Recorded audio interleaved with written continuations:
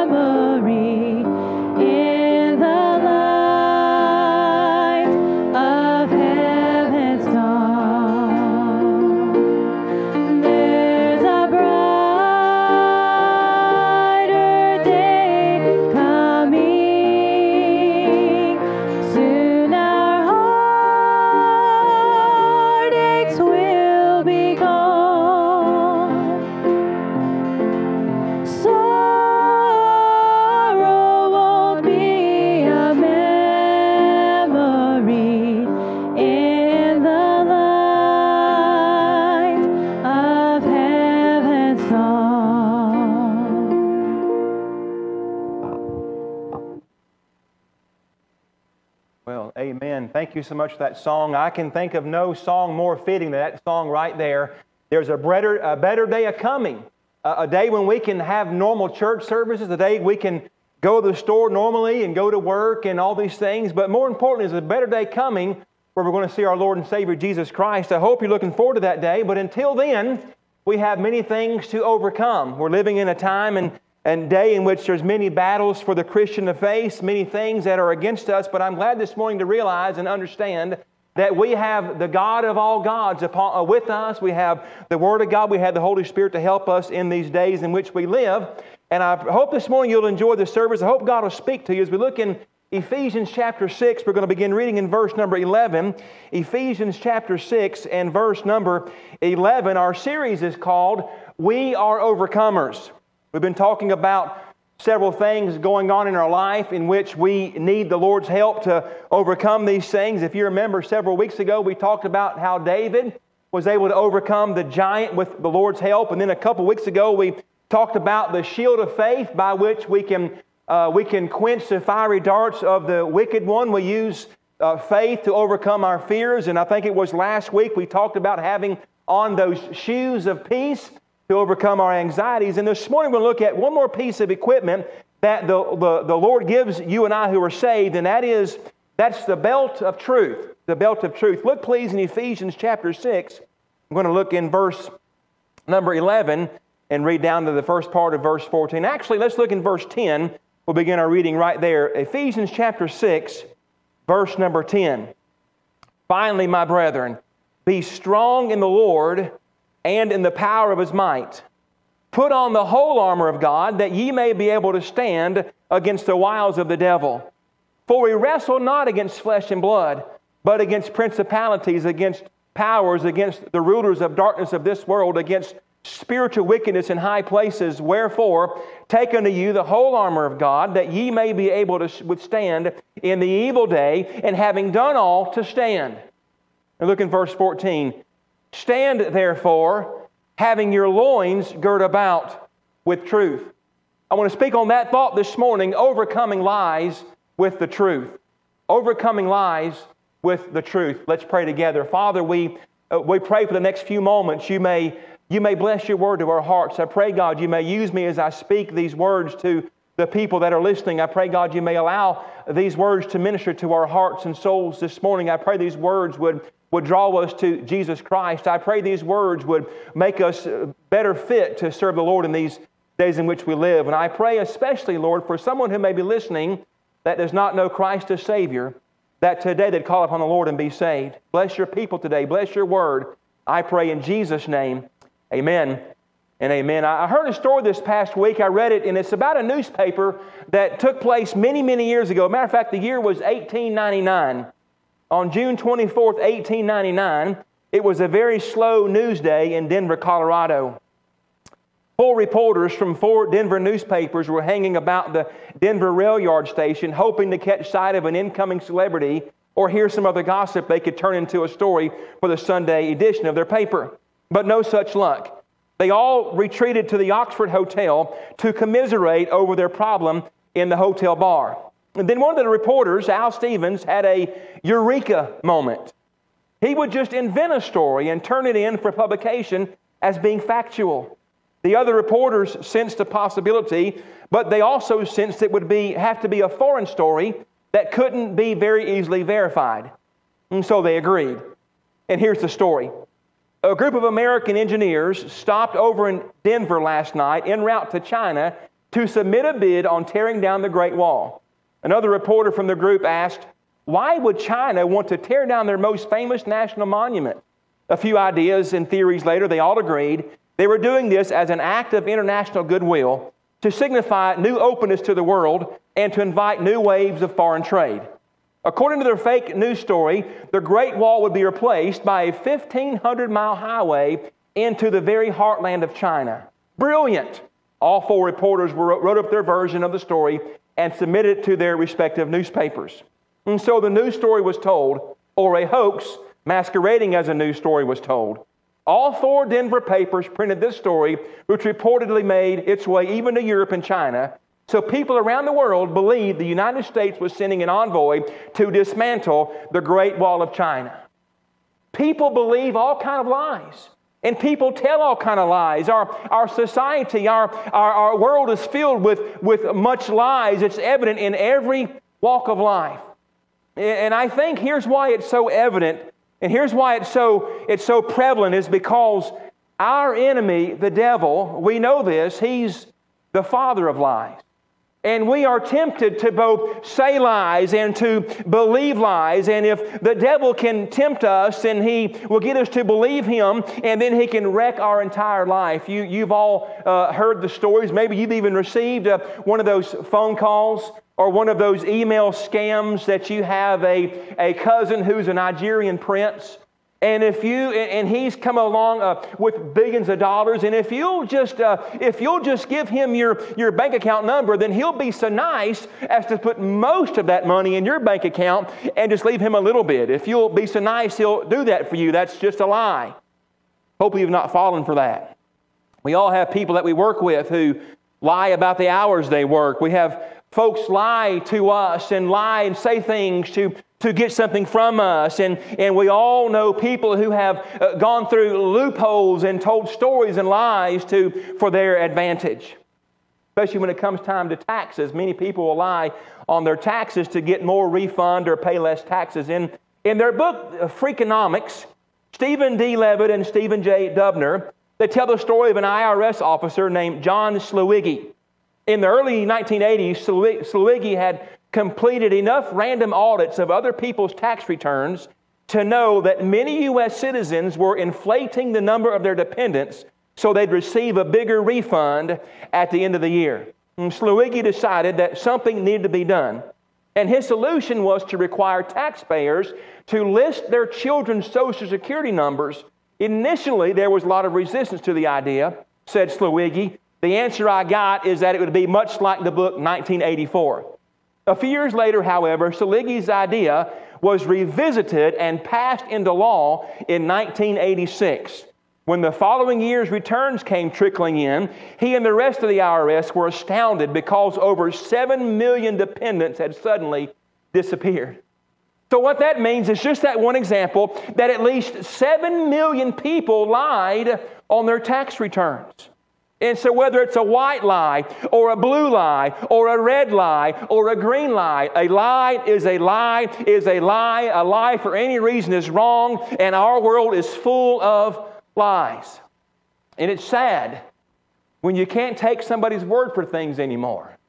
It's sad when a, a, handshake no longer is adequate. It's sad when just, a, when just a promise is not kept. It's sad that our world is filled with so many lies. Well, how do we overcome those lies?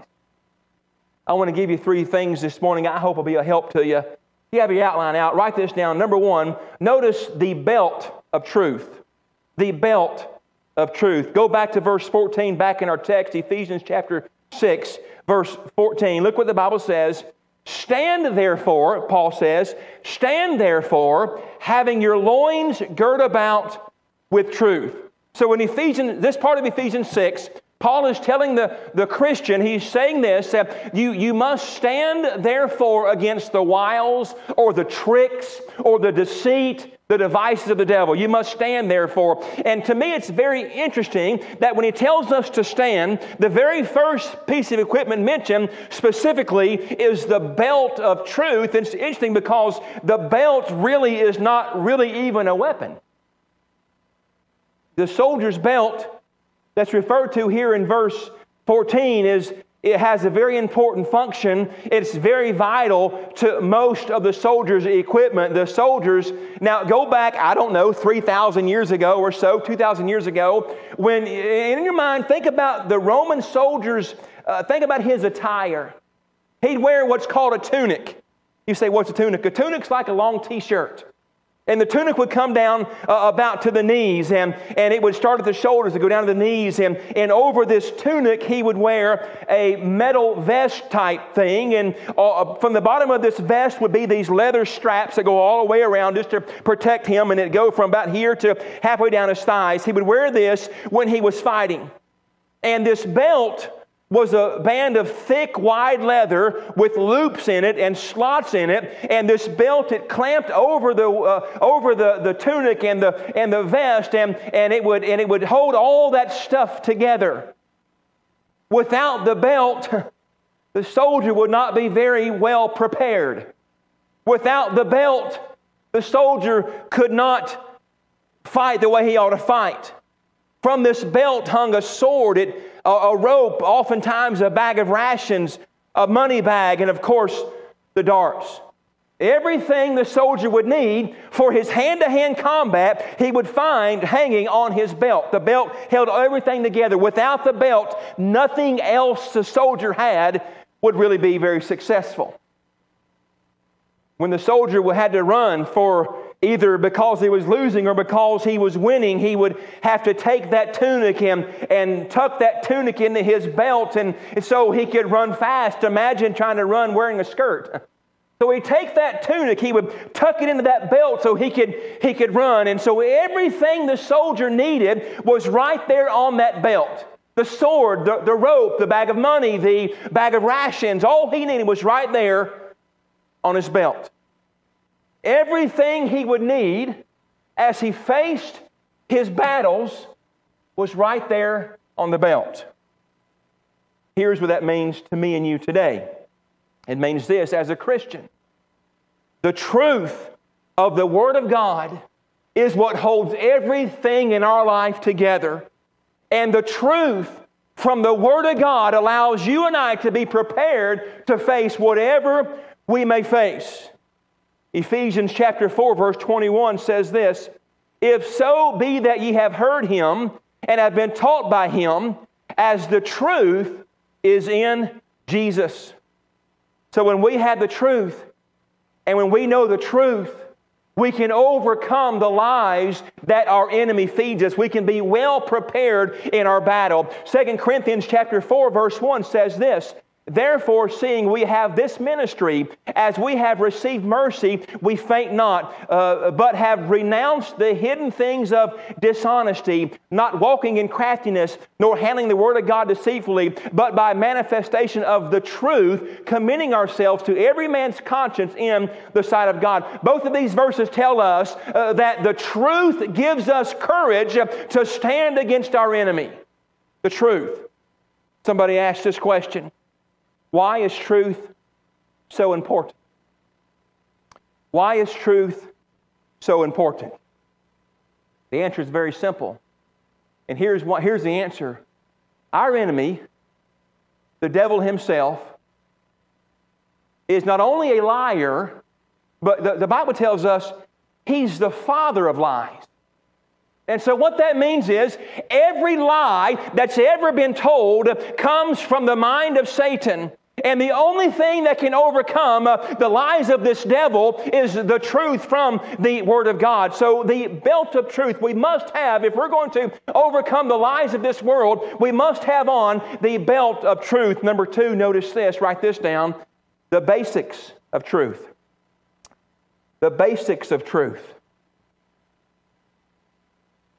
Contrary to popular belief, there is an absolute truth. There is something, and, we're going to see there's something and someone who is always truth.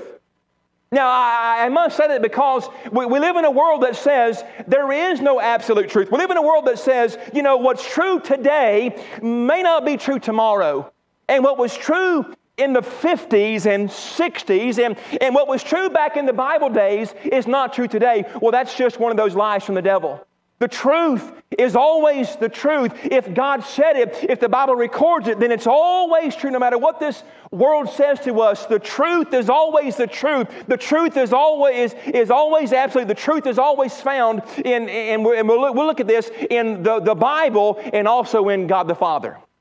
There, there, it's always truth.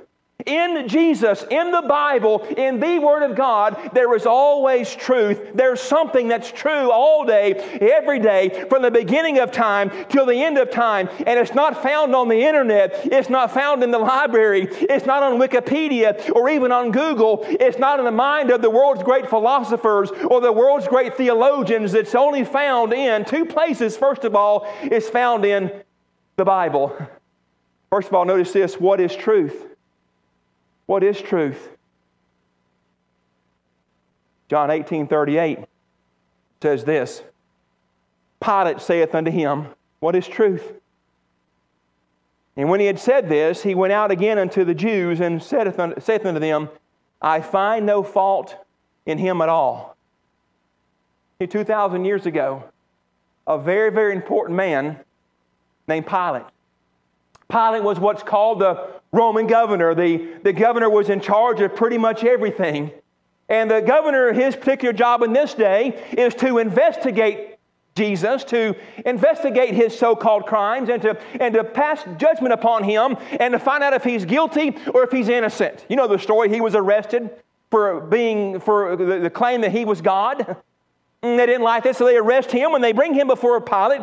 And Pilate has to decide is, is, is this man guilty of what they say he's done? Is this man Jesus, is he lying or is he telling the truth? And so, after an investigation, after looking at the evidence, after listening to people's stories, he says this Well, what is truth? And with that being said, when he said this, what is truth? He looked at Christ and said this In him I find no fault at all. In other words, Pilate, even Pilate, the Roman governor, he looked upon our Lord and said this He is the truth. In him there is no lie. And then he turned Jesus over to a crowd and they crucified him.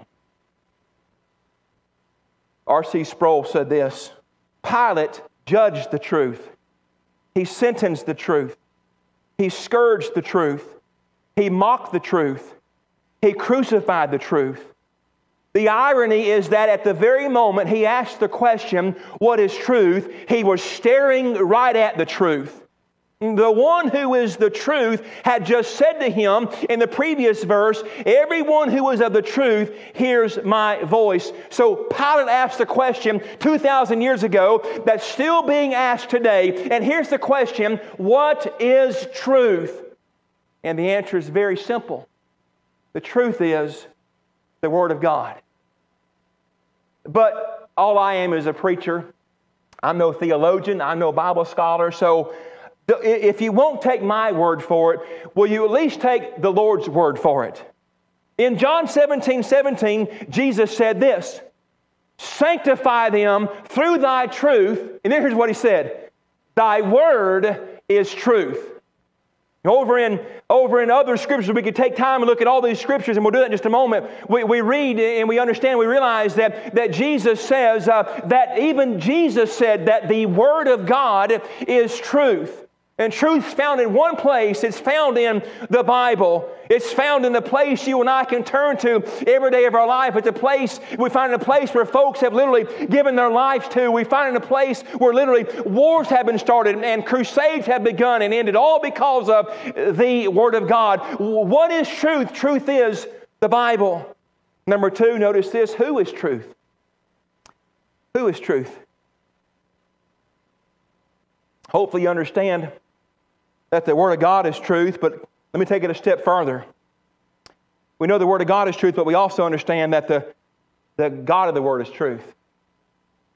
Uh, again, don't take my word for it. I'm just a man, I'm just a preacher, I'm no theologian, but I do want to show you some things that the Bible says who is truth. In, in Deuteronomy 32 4, the Bible says this He is the rock, His work is perfect, for all His ways are judgment, a God of truth, and without iniquity, just and right is He.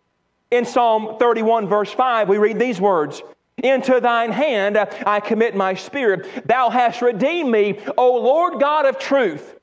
Isaiah 65, 16 says these words that he who blesseth himself in the earth shall bless himself in the God of truth, and he that sweareth in the earth shall swear by the God of truth, because the former troubles are forgotten and because they are hid from mine eyes. So the Bible tells us this word that we know is the truth tells us that, first of all, God the Father is truth. And then it goes even further and tells us that God the Holy Spirit is truth. You, you see, you can't separate God from the Holy Spirit or from the Son of God. They're all the same. So in John 15, 26, we read these words. But when the Comforter is come, whom I will send unto you from the Father, even, listen carefully, the Spirit of truth, which proceedeth from the Father, he shall testify of me. John 16, 13 says this Howbeit, when he, listen carefully, the Spirit of truth is come. He will guide you in all truth, for he shall not speak of himself, but whatsoever he shall hear, that shall he speak, and he will show you things to come. Listen to 1 John chapter 5 and verse number 6. He, uh, this is he that came by water and blood, even Jesus Christ, not by water only, but by water and blood, and it is the Spirit that beareth witness, because the Spirit, listen carefully, is truth. So, I said all that to say this. The truth is the Word of God. The truth is God the Father. The truth is God the Holy Spirit. The truth also is in the Son of God. Listen to John 14, 6. Oh, what a verse. Jesus saith unto him, I am the way, listen, the truth, and the life, and no man come to the Father but by me. So the truth is this it's, it's in the Word of God, it's in God the Father, it's in God the Spirit, it's in God the Son, all at the same time. The truth is not something that's obtuse or obsolete, it's not something that's unreachable or unknowable, it's not something too hard to hear or too hard to understand. The truth is very real, it's very solid, it's very tangible. It is in the Word of God and in the God of the Word, the Father, the Son, and and the Holy Spirit. It's all the truth. That's the basics of truth. So we notice the belt of truth, first of all. We notice the, the basics of truth. And now, so what does all that mean? We know that we ought to have the truth, and we know what the truth is. So now, how do we, how do we obtain it? How do we use it if Paul told us to stand therefore.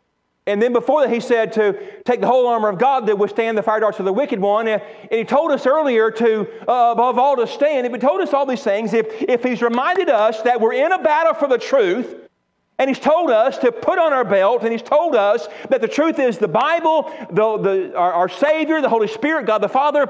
So now what do we do? Number three, notice the battle for truth the battle for truth. I sort of mentioned a little bit earlier this, but I, I need to say it again because we, we live in an age of relativism. We, we live in an age where so and so's opinion is the truth, and if you don't agree with him, then you're not the truth.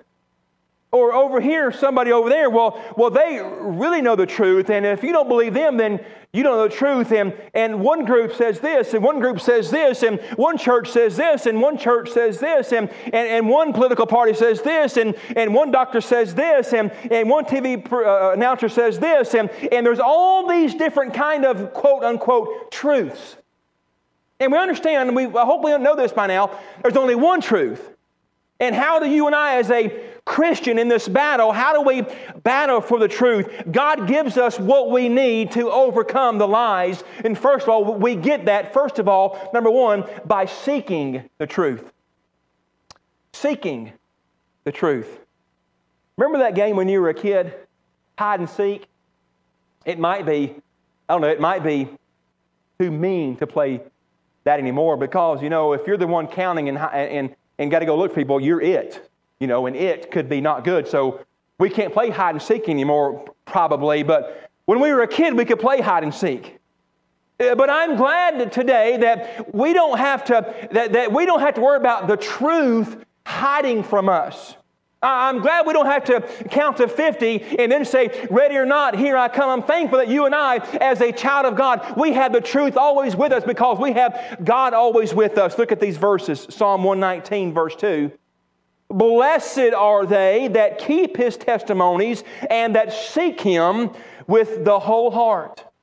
Psalms 119, 45 says this, And I will walk at liberty, for I seek thy precepts. So we, we understand that we're supposed to be seeking the truth. Very good, preacher. Thank you for that. But how do we do so? First of all, by studying the truth.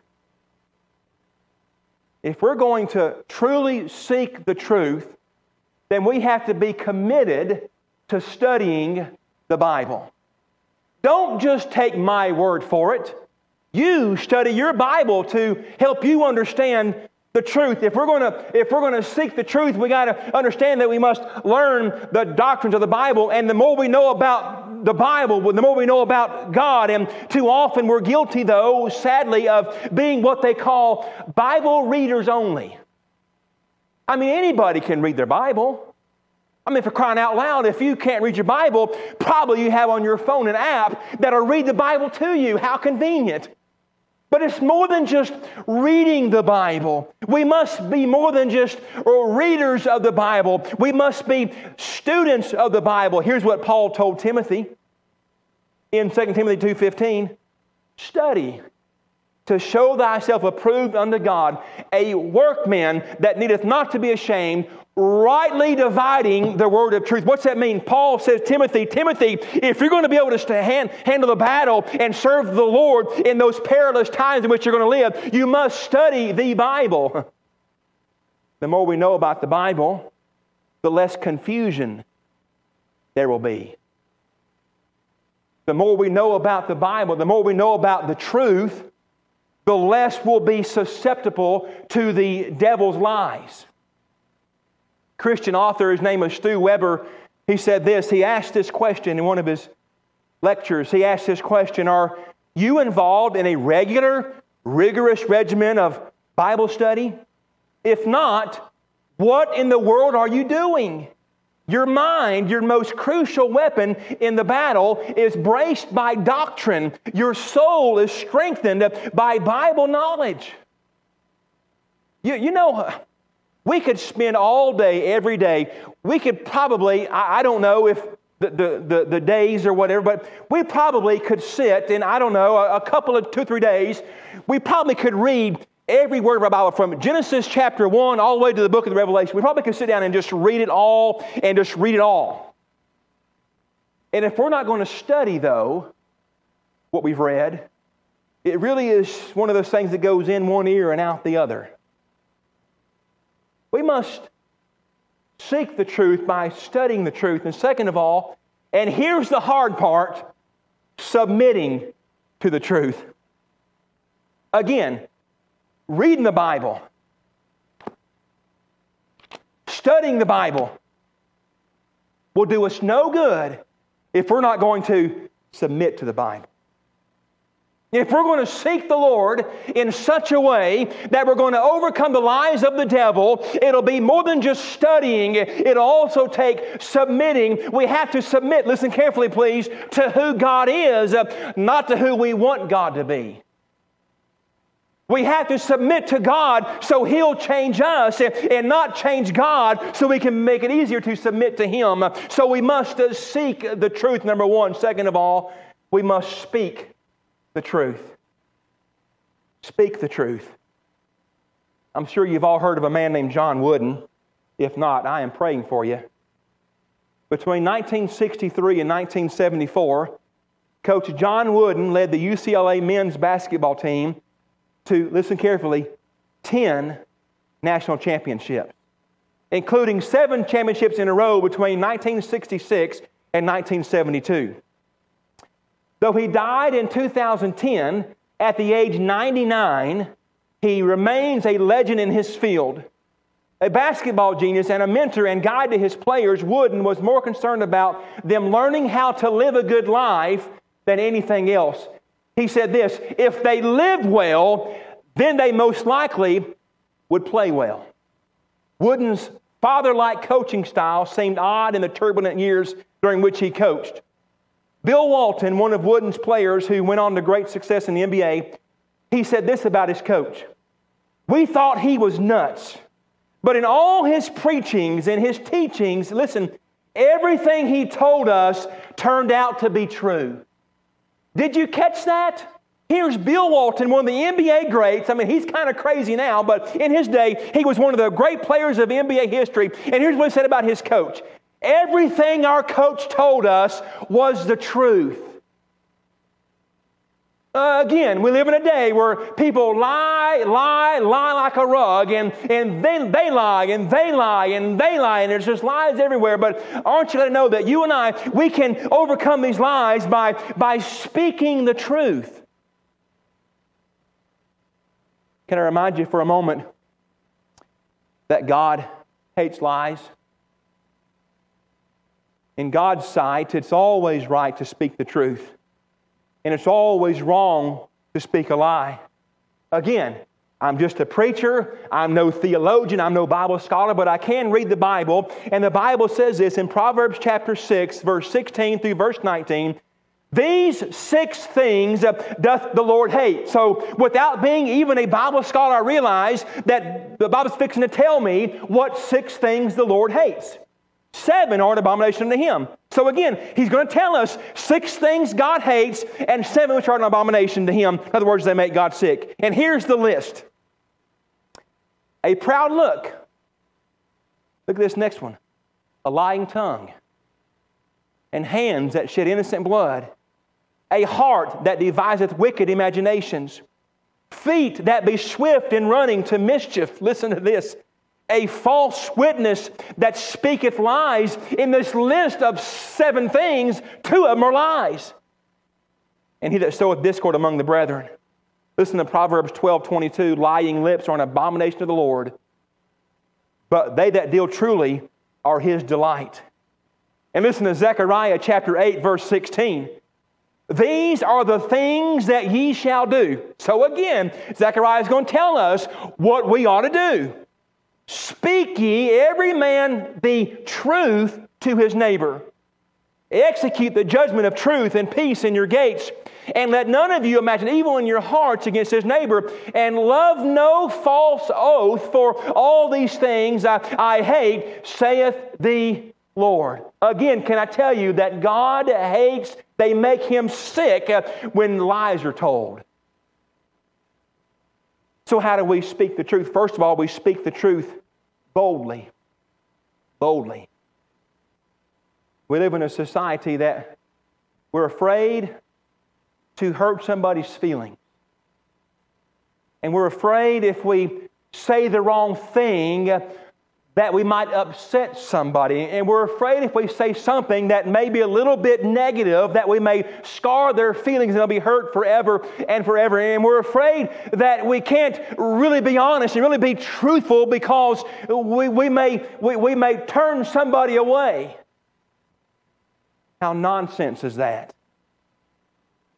Part of the prescription for overcoming the lies is to boldly speak the truth.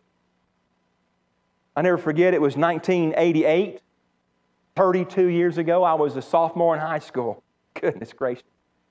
And I can remember that coming up through like rec league and junior high and middle school, I kind of began to get for myself a, a reputation of being a good baseball player. And so when I got to 10th grade, I mean, I got to be on the varsity. I mean, I was Mr. I was Mr. Uh, you know, Mr. Baseball. I was, you know, going to turn this thing around, and, and this team was glad to have me on their team, on their team, and, and they'd heard about me, they knew about me, and they said things like this: "We're so glad you're on our team because we want you in our lineup. We want you on our team." And my head began to get, you know, kind of big.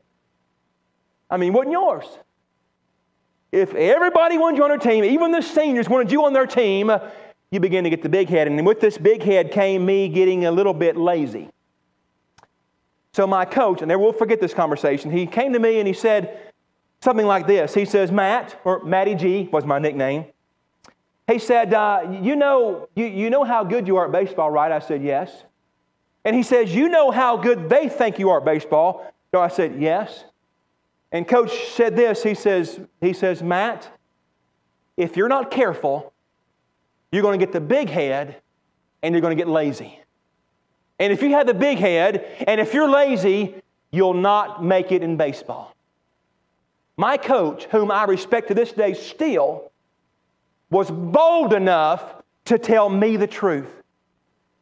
He didn't worry about my feelings, didn't worry about uh, scarring my emotions, didn't worry about me becoming, uh, going loony and going crazy. He didn't worry about how I felt about it. He loved me enough to boldly tell me the truth. And I appreciate it. It hurt my feelings at first, a little bit. And I realized he loved me. And from that day forward, I was always the first one to practice, the last one to leave practice, never missed practice, and worked harder than anybody else. And I guess I sort of made it okay. Here's my point if we're going to speak the truth, we must speak the truth, first of all, boldly. Do not be afraid to stand for truth. Do not be afraid to speak the truth because I can tell you one thing those who are against us, they're not one bit afraid to speak their nonsense. Speak the truth boldly. And second of all, speak the truth lovingly. Lovingly. We've got to remember to keep not a spirit of meanness, but a spirit of love. Ephesians 4:15 is very plain. But speaking the truth in love may grow up unto him all things which is in the head, even Christ. So you know, as a, as a child of God, filled with the Holy Spirit of God, and because we have studied and we have read and we have learned the truth through the Word of God, you and I, in the sinful world where there's lies abounding, you and I, we can both speak the truth boldly, we can also speak the truth lovingly. The story is told about a fourth grade teacher who was recovering from surgery. And she received a get well card from her class, and the card said this Dear Miss Fisher, your fourth grade class wishes you a speedy recovery by a vote of 15 to 14. so they told her the truth, but maybe not so much lovingly. We're to speak the truth, we're to do so with a spirit of love. Number three, and we'll be done. We seek the truth in this battle. We seek the truth, and we do so by speaking the truth. And finally, we do so by living the truth. Living the truth. Our goal as a child of God should always be to be more like Christ every day. And we know many things about him, and one thing we do know about him is just what Pilate, just what Pilate saw in him. In him is, is there's no lies. There's, there's nothing in him that's gone amiss. He's, he's always been truthful. He's always been faithful. And this Jesus, whom you guys are going to crucify, in him I find no fault. He did everything correctly. It might you and I learn to live the truth like Christ lived the truth. In John 8 46, we read uh, these words Jesus says this, Which of you convinceth me of sin? In other words, Jesus asked those following him, Somebody tell me what I've done wrong. And if we took time to read the rest of the story, we'd, we'd, we'd find out, we'd read that, that nobody said anything, nobody accused him of anything. Why is that? Because he did nothing wrong. When Christ, imagine in the book of Mark, imagine while Christ is hanging on the cross of Calvary, that even that centurion, when Christ had given his life for the souls of mankind, this centurion, this Roman soldier, he said this He says, Truly, this man is the Son of God. And even the thief who hung next to Christ said this in Luke 23 41, speaking of Jesus. But this man, hath done nothing amiss.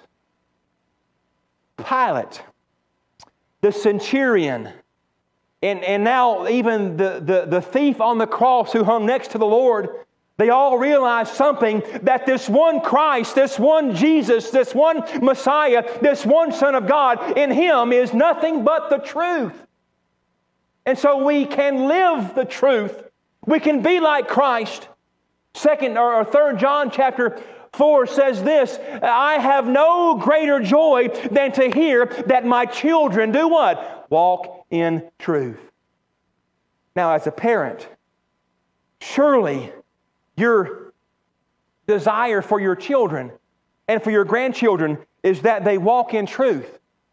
Surely, if you have brought kids into this world, or if you work in children's church or on, on, a bus route, or you work in some kind of children's ministry, surely your desire for them is that they learn in their life to, to walk in truth. Surely that's true about you. Surely you want your kids to one day walk in truth. Surely. Don't you think that God our Father wants the same for His children? That they walk in truth? And the verse tells us that there's no greater joy than our children walk in truth. Your children, your grandchildren, walking in truth should bring you more joy than if you get a hundred stimulus checks. Your children, the desire or the, the, the, fruition of your children walking in the truth ought to bring you more joy, ought to bring you more happiness, ought to make you a more satisfied child of God uh, than anything else in this world would ever do. The Bible says this I have no greater joy than to hear that my children walk in truth. And Christ's desire for you and I is the same exact thing. How do we do so? And we're done. First of all, through confession.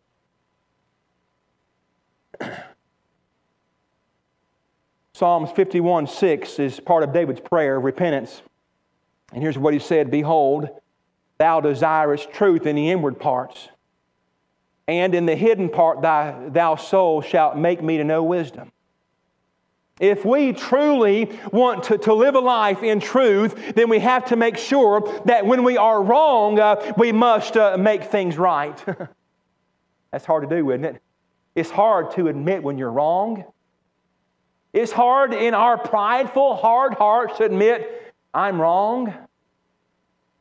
And we realize we're wrong, we must confess. James 5:16 says this, confess your faults one to another. If I've done you wrong or you've done me wrong, we must confess those things one to another and also confess those things to God. We, we live in truth by confession, and finally, we live in truth through correction when we do wrong and we confess our wrong, we make things right, we've not lived in the truth, listen please, until we've made a change. I like how David prayed in Psalm 139. He said, he said, Search me, O God, and know my heart. Try me and know my thoughts. And see if there be any wicked way in me, and lead me in the way everlasting. Here's what David is saying, and we're, we're almost done. We're almost done. Here's what David is saying He's saying, Lord, I know I've been wrong. I have, I have committed adultery. I committed murder. I'm prideful. Lord, I've turned my back on you and I've done some things that are just wrong. Lord, I've lied. I've done all these things, Lord. And here's what David says Lord, but I want you to search my heart and know my thoughts. And if there be any wicked way in me, here's what he's saying He's saying, cleanse me of those things and help me to do better. If we're going to confess our faults to one another and to God, and if we don't allow this confession to change us, then we've not lived in the truth. We're continuing to live in that lie. And if we're going to overcome the lies of this world, we have to make sure that we make things right with the Lord uh, because He and His Word uh, are the only sources of truth. One more verse and we're going to be done. John 8 32. And ye shall know the what? Truth. And the truth shall make you free. Our world, the devil, has filled many people's minds with lies. Lies like this, just for instance. You know, if this is the devil speaking, you know, if there really is a heaven, then there's really no way to know how to get there. And then, you know, if there is a way to get there, then the devil's still speaking here. He says, well, you know, if you'll just, uh, if you'll just get baptized, uh, then you can go to heaven. Or the devil still speaking, he say things like this to you. You know, uh, if you would just, uh, as a, as a, if you are a sinner, then if you would just, you know, if you would just give some money, or if you would buy a certain kind of trinket, or if you would do a bunch of good deeds, and if you would just do your best to be a sincere person, then surely God, if there is a God from heaven, if there is a heaven, would look upon you and say, well, you've tried your best, you've done good enough, you today, because I am in a good mood, then you can go to heaven today. That's a lie from the pit of hell. You can know of heaven. You can know how to get there. And all that's found in John 14, verse 6, in Jesus, because He is the way, the truth, and the life. And no man, no woman, no boy, no girl goes to the Father except by Him. That's the truth. That's the truth. You can know the Lord as your Savior today. You don't need to keep a list of do's and don'ts. You don't need to be baptized to be saved. You don't need to join a church. You don't need to give money. You don't need to do this or that or pray a prayer. You must, the Bible says, we must call upon the name of the Lord and we shall be saved. That's the truth. That's the truth. Only through Christ can we overcome the lies of this world. Can we bow our heads, please, this morning? I want to ask you a question. Do you know the truth? His name is Jesus. And He's told us in His Word over and over and over again that His Word is truth. God the Father is the truth. God the Holy Spirit's the truth. And He is truth. God is the truth. Do you know Him? Have you, uh, at some point in your life, have you Realize that you are a sinner and that because you're a sinner, you deserve to go to hell and pay for your sins. But do you also realize that you can't save yourself? But do you also understand that Christ went to the cross of Calvary and died in your place? He shed blood to cleanse you from your sin. And by faith today, in 2020, by faith, you can receive Christ to be your Savior. You can call upon Him, and thou shalt be saved. That's the truth. That's the truth. Can we pray together? Father, I want to thank you, Lord, for this time we've had together in your word. Lord, we want to thank you for